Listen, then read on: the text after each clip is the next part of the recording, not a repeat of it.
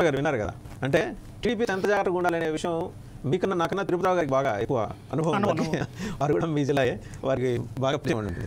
So Srikakulam. So మీరు కనుక గమనిస్తే సరే నేను మళ్ళీ ఆ నెంబర్లో జోలికి వెళ్ళాలి ఎందుకంటే మీకు కొన్ని లిమిటేషన్స్ ఉన్నాయి. మీరు మాట్లాడకూడదు కాబట్టి నేను మిమ్మల్ని ఇన్సిస్ట్ చేయను.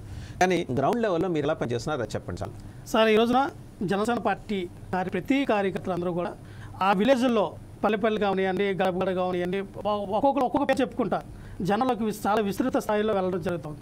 సో ఈ రోజున ఎప్పుడైతే జనసేన టీడీపీ అలయన్స్ పవన్ కళ్యాణ్ గారు ప్రకటించారో జనసేన టీడీపీ వాళ్ళు ఇద్దరు కలిపి కూడా ప్రజల్లోకి వెళ్తున్నారు. ప్రజల్లో ఎక్కడైతే ఏ సమస్య ఉందో ప్రజా సమస్యల పైన పోరాటం చేస్తూ ఉన్నారు. ఈ రోజు మన ముందుకు మీరు చెప్పారు జనసేన పార్టీకి మొదటిసారి ఆరు ఏడు శాతం ఉంటే ఇప్పుడు ఇరవై నుంచి ఇరవై రెండు శాతం. వెళ్ళింది. Yes, ఈ రోజు ఇరవై రెండు ఇరవై రెండు ముప్పై శాతం కూడా పెరిగింది సార్. నన్ను అదే చెప్పాను నేను. దాదాపుగా ఈ రోజున జనసేన పార్టీ యొక్క ఓటు శాతం చూస్తే తొంభై నుంచి ఒక తొంభై తొంభై లక్షల నుంచి ఒక కోటి ఓట్ల వరకు ఇది నేను చెప్పడంలో అత్యధికం ఎందుకంటే ఈరోజు చూస్తున్నాం పవన్ కళ్యాణ్ గారి యొక్క ఈ పది సంవత్సరాల యొక్క శ్రమ ఎస్ ఈ రోజున ఓట్ల రూపంలో రేపు రాబో రాబోతుంది సార్. రైట్ మంచిదే అంటే అనేది కార్యాచరణకు వచ్చేప్పటికి మీరు నిబద్ధులై ఉన్నారు. మీ నాయకుడు చెప్పిన మాటకి. వ్యూహాలు ఆయనకు వదిలేశారు. మీరు పనిచేస్తున్నారు బట్ నేను నేను గమనిస్తున్నది నేను వింటున్నది నేను చూసింది కూడా ఏంటంటే కొన్ని జిల్లాల్లో ప్రత్యేకించి ఉభయ గోదావరి జిల్లాలు గుంటూరు కృష్ణా జిల్లాలో తెలుగుదేశం నాయకత్వం కొంచెం ఇబ్బంది పెడుతుంది. సఫికేషన్ ఎదురవుతుంది. జనసేన కార్యకర్తలకి శ్రేణులకి సఫికేషన్ ఎదురవుతుంది. అది కూడా ఆయన ఓపిక పట్టమన్నారు. అది కూడా Yes, చెప్తున్నా yes, మళ్ళీ మీరు దాని మీద ఏం మాట్లాడుతున్నారు. అది కూడా ఓపిక పట్టమన్నారు. బట్ ఏంటంటే ఒకటే ఒక క్వశ్చన్. ఆయన్ని ముఖ్యమంత్రిగా చూడాలని ఇన్నాళ్ళు ఎనభై ఎనిమిది శాతం తాడిత పీడిత బడుగు బలహీన వర్గాలు విస్మృత విసర్జిత సామాజిక వర్గాలు. వీళ్ళందరూ ఎదురు చూస్తున్నారు. ఇన్నాళ్ళు రాజ్యాధికారం రెండు సామాజిక వర్గాలు. పన్నెండు శాతం ఉన్నవాడు ఈ రోజు ఎనభై ఎనిమిది శాతానికి రిప్రజెంటేటివ్గా పవన్ కళ్యాణ్ గారు ఎన్టీఆర్. ఎస్ మరి ఆయన ముఖ్యమంత్రి కావాలని కోరుకుంటారు కదా?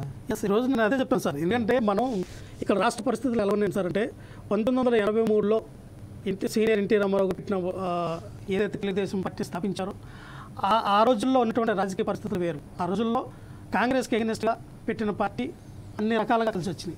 ఈరోజు చూస్తే మనం చూసాం పీఆర్పీ పార్టీ పెట్టినప్పుడు ఏ విధంగా అయితే మరి ప్రజల్లో చాలా బలం కలిగింది కానీ దాన్ని కొంత కొన్ని అనివార్య కారణం వల్ల స్టాప్ అయింది.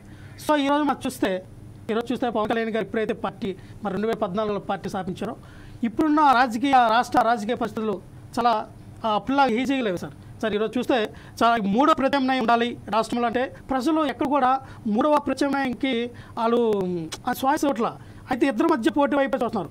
అయితే అంటే ఏ బి సికి వాళ్ళు ఛాన్స్ అట్లా సో ఈ రోజున ఏంటంటే పవన్ కళ్యాణ్ గారు ఒక స్ట్రాటజీ పే చేశారు. సో మన పొత్తులు పెట్టుకుని వెళ్ళాలి బలోపేతం చేయాలి పార్టీని. ఈ రోజున పార్టీ బలోపేతం అవుతుంది.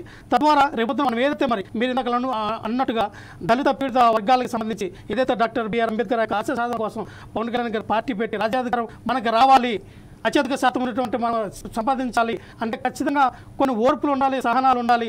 మనం అనుకున్నంత విజయ్ ఏది కాదు. కష్టపడి ముందుకెళ్ళాలన్న తత్వంతో పవన్ కళ్యాణ్ గారు పది సంవత్సరాలు వెచ్చించారు. అవసరమైతే ఇంకో ఐదు పది సంవత్సరాలు నేను వెచ్చిస్తాను. మనం అనుకున్న దాన్ని మనం సాధిద్దామని పవన్ కళ్యాణ్ గారు ఒక నిర్ణయం. ఎస్ ఈ రోజున ఏదైతే మేము అనుకున్నాం ఖచ్చితంగా మరొక అరవై రోజుల్లో పవన్ కళ్యాణ్ గారు మీరు నేను అలాగే జనసేన పార్టీ నాయకుల కార్యకర్తలు అనుకునే విధానంగా ఏదైతే మేము రెండు వేల తొమ్మిదిలో ఆశించామో ఖచ్చితంగా రేపు రెండు వేల ఇరవై నాలుగు రేపు అరవై రోజుల తర్వాత పవన్ కళ్యాణ్ గారు రాజ్యాధికారంలో ఆ సీట్లో కూర్చుంటారని చెప్పడం అత్యంత ఎక్సలెంట్ సో మీకైతే క్లారిటీ ఉంది. మీ clarity గారు మాకు. చాలా క్లియర్గా చెప్పారు సార్. నేను ఎక్కడ కూడా మిమ్మల్ని తగ్గనివ్వను. వ్యూహాలు అన్ని నాకు వదిలేయండి. జస్ట్ నన్ను ఫాలో అవ్వండి చాలు నేను ఏ నేను మీరు ఎక్కడ మీ ఆత్మ అభిమానాన్ని కానీ గౌరవాన్ని కానీ నేను తగ్గించను.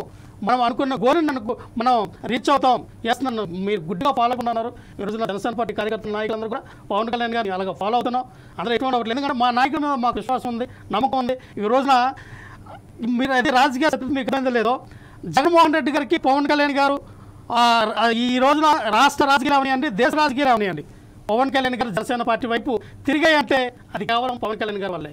ఎస్ అది మేము సాధించాం. రేపు ఎస్ రాజ్యాధికారం కూడా సాధించబోతుంది right all best Lakshman garu. Thank you very much so చూసాం కదా జనసేన క్లారిటీతో ఉంది జనసేన అని కూడా క్లారిటీతో ఉన్నారు రెండు వేల తొమ్మిదిలో మిస్ అయిన రెండు వేల ఇరవై నాలుగులో సాధించి తీరుతా ఉన్న మెసేజ్ని చాలా స్పష్టంగా టాప్ టు బాటమ్ జనసేనని కన్వే చేయగలిగారు. దట్స్ వాట్ రేగిరి లక్ష్మణరావు గారు విజయనగరం జిల్లా జనసేన అధికార ప్రతినిధి. వారు ఆ వారి కళలో కాన్ఫిడెన్స్ మనం చూడొచ్చు. అంటే అది ఎట్టి పరిస్థితుల్లో మనం రాజ్యాధికారం దిశగా నడిపిస్తూ నడుస్తున్నాము మనం అందుకోబోతున్నాం వారి ఆకాంక్ష నెరవేరాలని అభిలషిస్తూ థ్యాంక్ యూ వెరీ మచ్ అండి. Thank you very much for watching political thought